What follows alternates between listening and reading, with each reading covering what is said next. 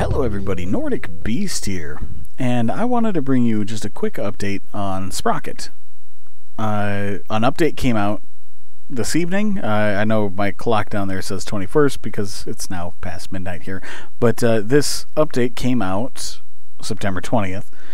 Now, this morning, I recorded a video that will be out tomorrow morning. This video will be out at the same time as that video because of this update. Uh, I mentioned that I would like to see uh, the ability to change eras in the sandbox, and that is the very first addition that they add.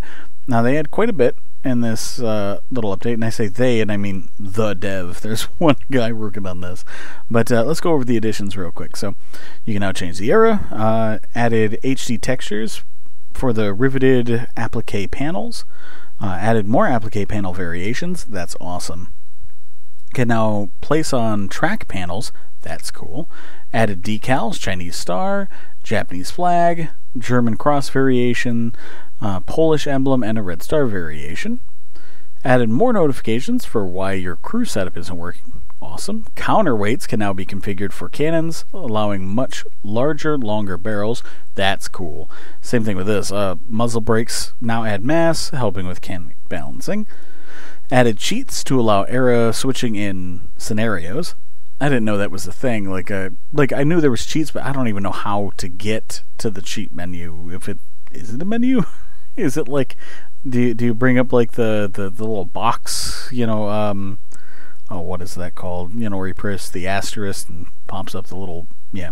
Anyway, uh, the sandbox current era will automatically switch to loaded vehicle era. This won't happen for vehicles from a previous version.